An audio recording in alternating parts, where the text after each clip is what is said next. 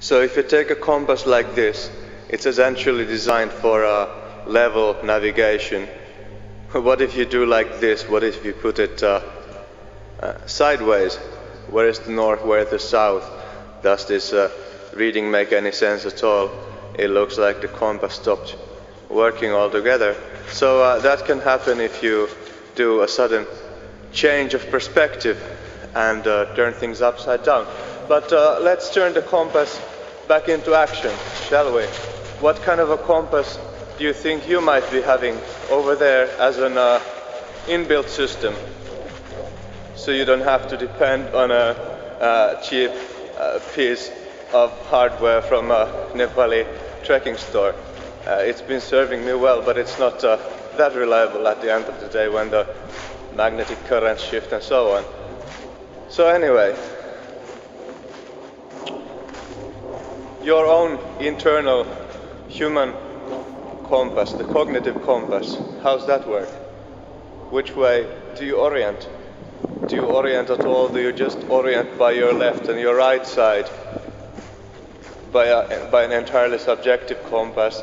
Or do you have a natural compass of four directions and uh, four seasons? Or again, do you have an obsessive compass of ordinal and cardinal directions that you want to pursue independent of each other? Those are the kinds of uh, uh, jumpy and buggy compasses that people use. The natural compass in the medium is quite good, uh, but the best compass of all is the kind of compass that integrates the human being seamlessly with the nature, that integrates natural awareness and uh, human awareness, that integrates sentience and apparent insentience into a single compass of uh, generalized and uh, all-purpose versatile awareness. Anyways, the old world is full of examples like that. In fairy tales, in stories of great adventures, Sinbad and the Seven Seas, Captain Jack Sparrow,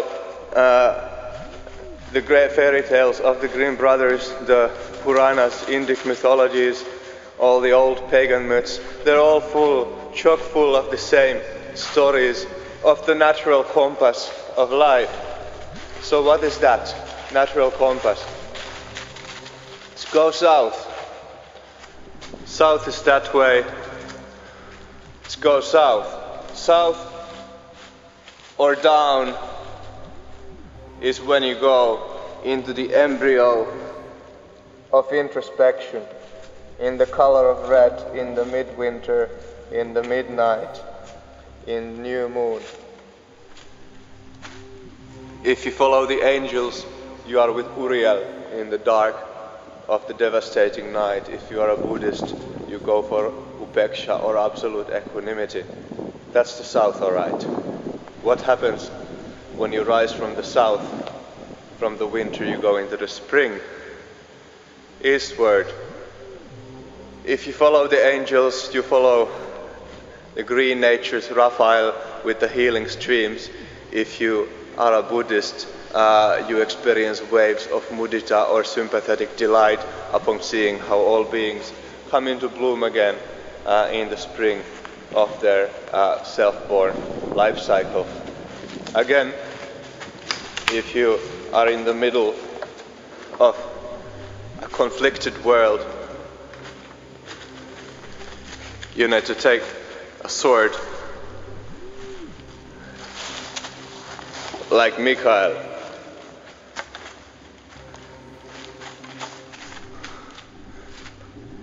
You need to take a sword of knowledge and terminate the old. Let the leaves fall, like now is the season of the fall, uh, the autumn time. The essence of life that culminated in the summer is rising again, reaching for the winter, returning to the heaven from the earthly domain. And similarly, if you are a Buddhist, you experience uh, compassion when you see Mikhail cutting with the sword of autumnal termination, challenging, defying the old ways of life, showing that there is always an end to the old order, period of darkness, and again, a period new coming light at the end of it all. That's one direction of the compass. We're walking westward right now with the beautiful windmills and the dog racing on the background. So now we're going northward. Who's up north? If north is up, if south is down, if north is up,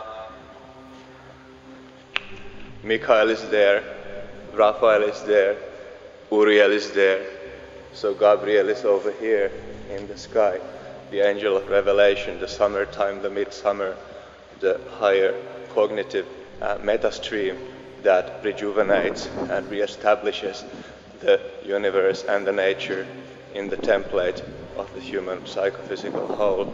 That's a good thing to contemplate and sometime. Follow the wings of the angels, follow the clouds and the stars in the sky, search for the primal nature, search for the primal essences of being inside the human self, search for the same thing in the human society, and search for it in the universe. Four bases.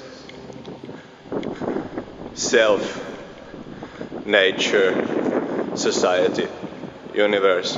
And then you have the axis of the fifth that keeps all things in balance in their center at the heart of the compass. You remember the compass over here is entirely worthless. If it doesn't have a center to spin around and a human being if you don't have a center to spin around that follows from the center that spins above and that spins below then I'm afraid you're awfully lost in this big bad world. So why not find a compass like Jack Sparrow did on all those awesome movies? And uh, why don't you go and read some old fairy tales and try to self-absorb the essence that is universal in all of them? However, it sounds like there's nothing to believe. There is only thing is to experience directly the principles that are alive in all these countless narratives of natural and integrated existence. So that's a fair load ship full of fairy tale over there. Uh, contemplate on that, please, and uh, let me know how your compass looks like. There are lots of examples online these days. Just Google it up and wisdom matrix. Thank you. Peace out. Compass in concluded there.